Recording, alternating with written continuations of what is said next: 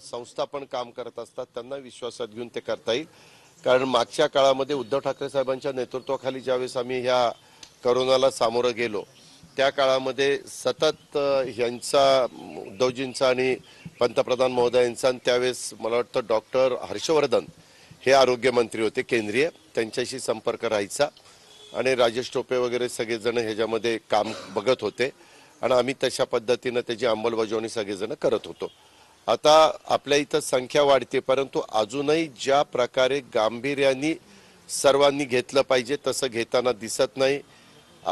सर्रास जर ह्याचं गांभीर्य जास्त असेल तर सरकारने सांगितलं पाहिजे की सरकारच्या ऑफिसेसमध्ये जो कोणी यंत्रणा काम करते त्यांनी कंपल्सरी मास्क वापरला पाहिजे.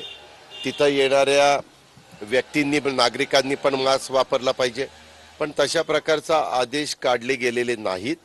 आणि सरकारमधले मंत्रिमंडळातले पण सहकारी आता मास्क वापरताना दिसत नाहीत याचा अर्थ जनतेला वाटतं की अजून ते- त्या त्या करोनाचं किंवा त्या व्हायरसचं गांभीर्य इतकं काही नाही आहे असं ते होत आहे म्हणून हे सगळ्या प्रश्न निर्माण झालेले आहेत. पण मधून अधून काही व्यक्ती पण ह्याच्यामध्ये मृत्युमुखी मृत्युमुखी पडतायत असं पण बातम्या ऐकायला मिळत आहेत ही पण वस्तुस्थिती खरी आहे.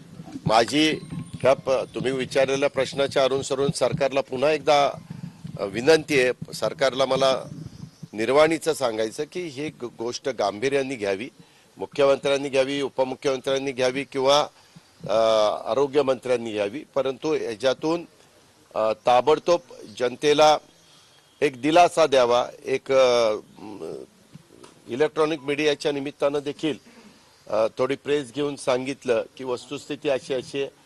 तर एक लोकांच्या मध्ये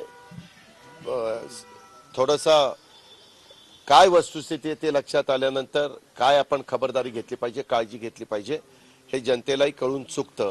त्याच्यामुळे सरकारने ताबडतोब ह्याच्यात लक्ष घालावं अशी माझी सरकारला सूचना आहे. टेस्टिंग सुद्धा होत नाहीये दादा कुठे? अ, त्याचबरोबर लस सुद्धा उपलब्ध नाहीयेत. या संदर्भात मी तेच सांगितलं ना की सरकारने तातडीनं यामध्ये लक्ष घालावं. आता आज गुड फ्रायडे उद्या सॅटर्डे परवा संडे लागोपाठ तीन दिवसाच्या सुट्टी आलेल्या आहेत. मी आज माझ्याकडे सकाळी काही लोक भेटायला आली होती त्यावेळेस बऱ्याच अ, लोकांच्या कामाच्या करता अधिकाऱ्यांना फोन करत होतो तर अधिकारी बहुतेक रजेवर आहेत.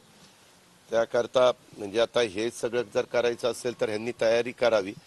आणि तातडीनं पण आता तुम्ही जसं मला एक वाजता प्रेसच्या निमित्ताने इथं अवेलेबल झाला तसं राज्याचे प्रमुख जर प्रेस घेणार म्हटले तर साहजिकच सगळे अयोध्या दौरा आहे. दोन दिवसाचा अयोध्या दौरा आहे. मोठी तयारी आहे. योगी आदित्यनाथ ठीक ठीक आहे ठीक आहे. त्यांना जर जायचं असेल तर अयोध्येला त्यांनी जावं. जे कोणी उपलब्ध असतील त्यांनी घ्यावं. ते नसतील तर आपल्या उपमुख्यमंत्र्यांनी घ्यावं. उपमुख्यमंत्री नसले तर सार्वजनिक आरोग्य मंत्र्यांनी घ्यावं. दादा A I A I C टीचे कार्यालय जे होतं काय काय? मी नाही ऐकलं.